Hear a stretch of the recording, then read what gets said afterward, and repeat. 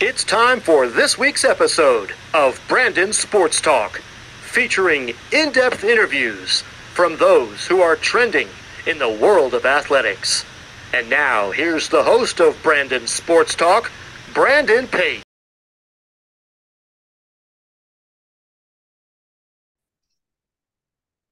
Welcome back to Brandon Sports Talk. In today's episode, I have the privilege to interview the Wheeling Nailers TV slash radio announcer, sports broadcaster, Isaiah Basinger. How are you doing today? I'm doing good. Thanks for having me on, Brandon. Thank you. Can you talk about how you knew that you want to get started in working in professional sports?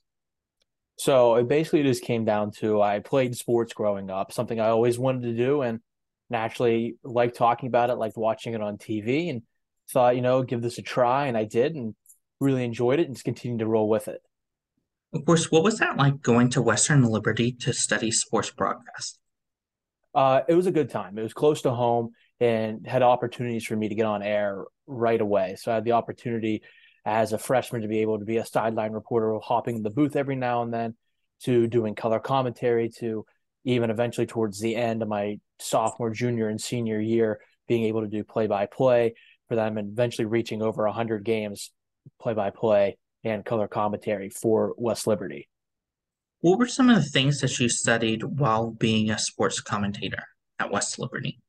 So, my degree was a general, just broadcasting degree. So, learned everything from behind the scenes work to eventually reaching out on my own and learning some more on air stuff, which I always thought was really, really cool. But I also appreciate everything that goes on behind the scenes because without the people behind the scenes, the people that are on air don't look as good as they're supposed to. So really learned that. I also have a minor in public relations. I think that helps a lot too, knowing how to handle situations that might come on and off of the field, court, or whatever playing service they play on.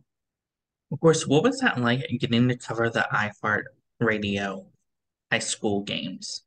So that was just simply uh, I was in school and someone recommended, hey, you have a little bit of free time. Let's go do some high school football. It was every either Friday or possibly Saturday afternoons. You know what? I had the free time. It was lots of fun, be able to experience some things and just adds a little bit more to just the resume, what it really comes down to it. I enjoyed the time doing that, got to see a bunch of different things that you normally wouldn't see. What was that transition like from going from covering college announcing to then getting into professional announcing?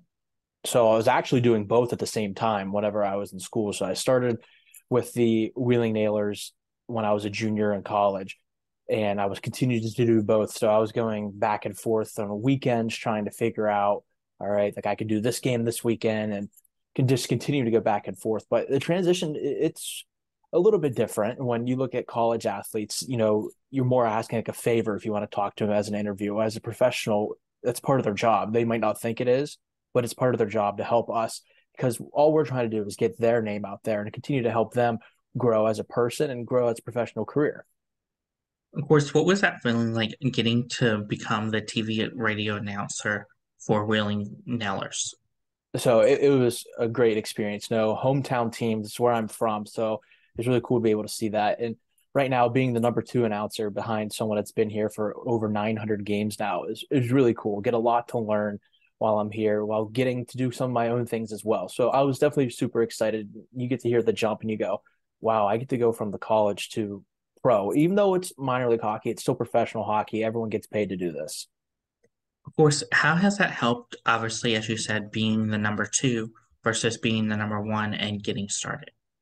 So I think it was a huge part because I think there, I owe a whole lot of credit to DJ Abisalih, who's the play-by-play guy here in Wheeling right now, uh, just giving me the reins, showing me a couple of different things, how to handle certain things. Because here in the ECHL level, there's it's not just you show up to the game and that's your job. There's a lot of behind the scenes, whether it's working in the community to help get the team's name out there, talking to different media outlets, setting up interviews. There's a whole lot that goes behind it that you don't really realize. And he's done a great job showing me what I need to do. And and I feel like, and he feels like as well, that I'm ready to make that next jump up. But I think it's important to have a little bit of experience, just sitting back, watching, and then being ready to go and jump and do it.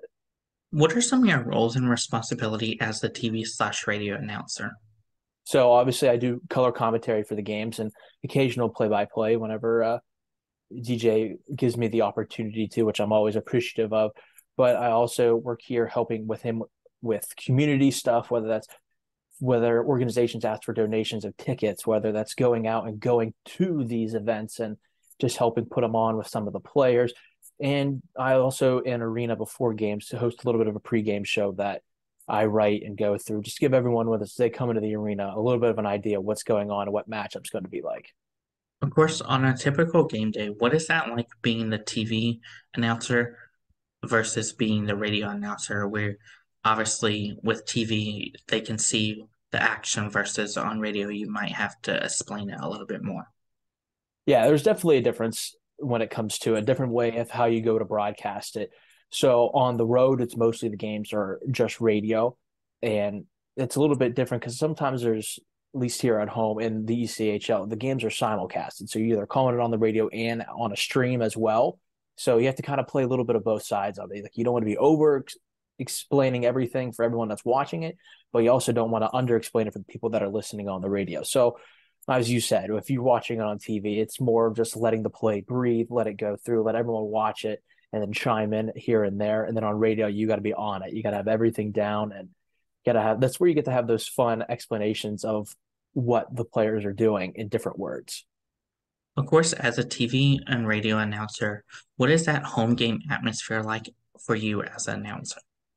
Oh, it's, it's spectacular. Whenever we have those big nights and there's tons of fans in the arena, you just feel the energy. And sometimes it's a great thing to just, even during the national anthem, just take a second, take a deep breath, and just look around you and soak it all in to see how many people are there. We had a sellout earlier this year in January, and it was the first one in since 2016, I believe.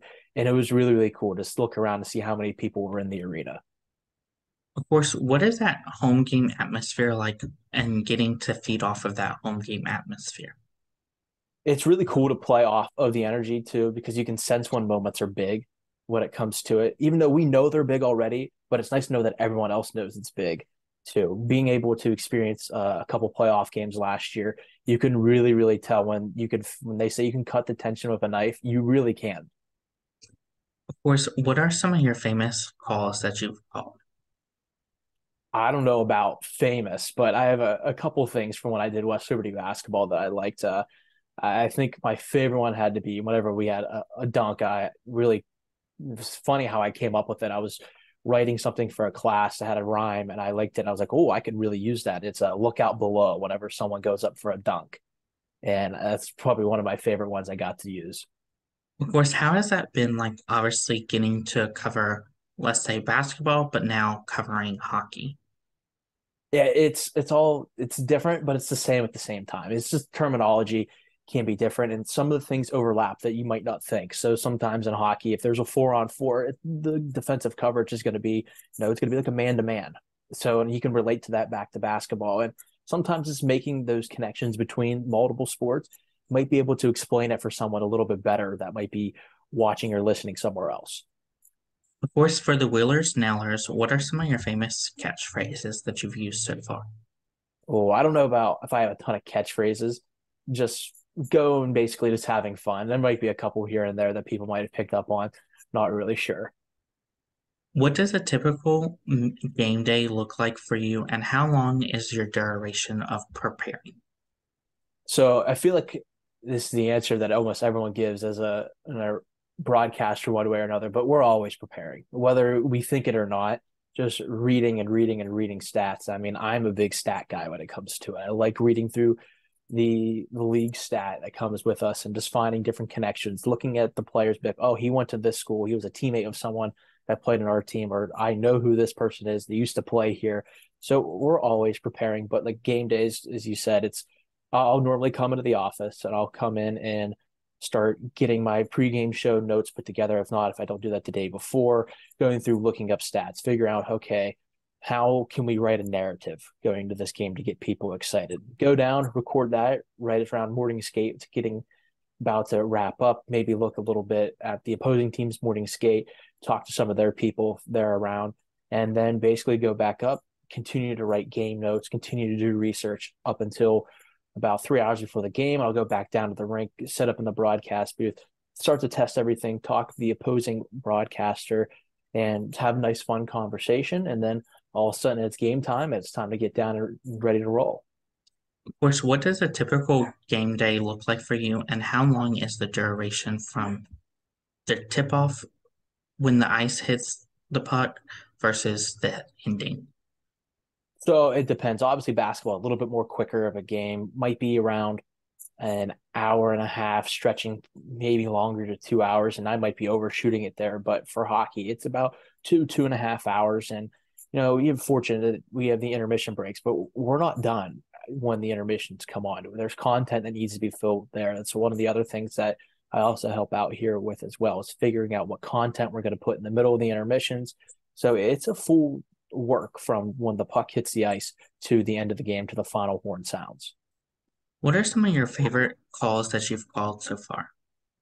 So it's been really cool to be fortunate to be a part of whenever I was up at West Liberty to have them in Division Two. It's a really big deal. It's like the Final Four in Division One to go to the Elite Eight. I was fortunate to be able to call them to go to the Elite Eight, and winning a Sweet 16 game. But I think the favorite one so far has to be a goalie fight that we had here in Wheeling.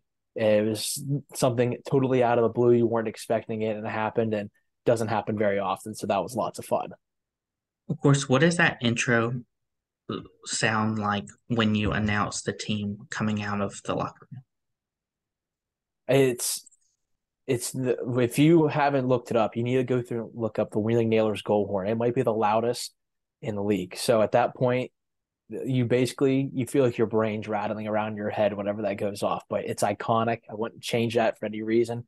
And it's nice to see everyone when as soon as they come out of the tunnel before the games, you know that you know. In my feeling, it's all right. It's time to get ready to go. It's really exciting, and it's the same for the fans as well. What are some of the things that you've learned now that you didn't know before getting started? Oh, I would say first thing is you have to have fun with it. If you're not having fun, then you shouldn't be here and you need to find something else to do. If sports is such a great thing and there's so much parity when it comes to it, it's so much fun. So first thing, got to have fun with it. Uh, second thing is, you know, the center of attention's not on the broadcaster. That's the one thing. I, if anything, if I could slide off into the background, I'd be perfectly happy with that uh, you want everyone's there to watch the game. They're not there to listen to me. And that's as soon as you realize that, and you realize that even if you make small mistakes, if you just correct yourself and move on, it's the most professional thing you can do. And and one thing I've learned recently, which I really really appreciate, is letting the play the play breathe, whatever it comes to it. If a big play happens, as Vin Scully did it very good, Kenny Albert does it well, really right now too. Is if a goal is scored or a home run's hit, just lay out, give it 15, 20, 30 seconds, and don't say anything. Let the crowd react. Do you want the people that are watching or listening to feel like they're there in the arena or the ballpark. Who are some of the broadcasters that you look up to and for inspiration? So I really, really like uh, Joe Davis. I was fortunate to be able to talk to him a little bit while back on the phone to basically ask him some advice, and I was only had that opportunity because of uh, uh, ESPN college basketball broadcaster Rich Hollenberg. He's been truly helpful to me as well, being able to help me with just looking at my reel or just looking at giving great advice because most of these people have been in the same position that young broadcasters are in, trying to break in to the industry. Of course, for you being a hockey broadcaster, who are some of the hockey NHL broadcasters that you look up to, whether it's voicers whether it's the voice or play by plays? So uh, number one has to be Doc Emrick. If if you like hockey and it's not Doc Emrick, I don't know what you're watching. But Doc Emrick is one of the best. And some of the other ones I like, I really like Brendan Burke because really been looking at him. He's the voice for the Islanders, but also does stuff for TNT and TBS here during the playoffs. It's really cool to look at him because he was a former Wheeling Nailer broadcaster as well at a very, very young age. To be able to see how you can rise from this level, which it might feel like you might never get out of, but you know, it's still a good time when you're here to be able to get that rise up to the big stage. I really like watching him as well. And another one of those that rose here from Wheeling to work their way up is Dave Goucher, who used to be in Boston, who's now out in Vegas with the Golden Knights. What What are some of your future plans in the sports broadcasting industry? right now, just continue to do what I'm doing right now. Eventually, the next goal was to get a number one job somewhere and continue to build from there and just continue to climb the ladder. That's all you can do. You get, no one knows where you're going to end up in 10 years when it comes to being a sports broadcaster, but you hope you can continue to climb the ladder and continue to do the things we love. What advice would you give those people that are looking to get into sports broadcasting? Uh, just got to get reps. You got to go out and just do it. Even if you're not doing some official broadcast, even if you're sitting at home. I mean, I remember when I was in high school when I just thought this is what I might want to do. I'd be playing something on PlayStation or Xbox. It'd be a sports game. And you just got to act like you're calling it. You go through and get reps, record yourself. Even if you're just watching a game on TV, record yourself, go back and listen to it and be like, okay, I can get better at this. And eventually just get your foot in the door somewhere. You have to say yes. What advice would you give those people that are looking to get into professional sports as a broadcaster? Uh, just kind of the same thing. You got to get reps and you just got to get your foot in the door somewhere. If someone needs to give you an opportunity, as soon as they're able to give you an opportunity, you got to prove why you deserve to be there. That's great advice. Where can my listeners find you at on social media along with the Willard Nailers? So you can follow me on all platforms. So my name's Isaac Basinger again. It's going to be I underscore Basinger on Twitter and Instagram and LinkedIn, Isaac Basinger. It's the same thing on Facebook, I believe. I believe that's all that I'm on. And the Wheeling Nailers, it's different across the thing, but it's a verified account across all of them. So normally it's around at Wheeling Nailers. Thank you again, Isaiah Basinger, for your interview and best luck in your future as the TV slash radio and now sports broadcaster for the Wheeling Nailers. Thank you, Brandon, very much. I appreciate you reaching out to me to have me on, and best of luck with your show here as well. Thank you. You can find Brandon Sports Talk on Facebook at Brandon Sports Talk, Instagram at Brandon Sports Talk, Twitter at Talk underscore Brandon. You can find me on YouTube at Brandon Sports Talk. Don't forget to like, comment, and subscribe. Thank you again, Isaiah Basinger, for your interview, and best of luck in your future. Thank you. You've been watching Brandon Sports Talk. Please feel free to like, share, and subscribe to Brandon Sports Talk on social media and on YouTube.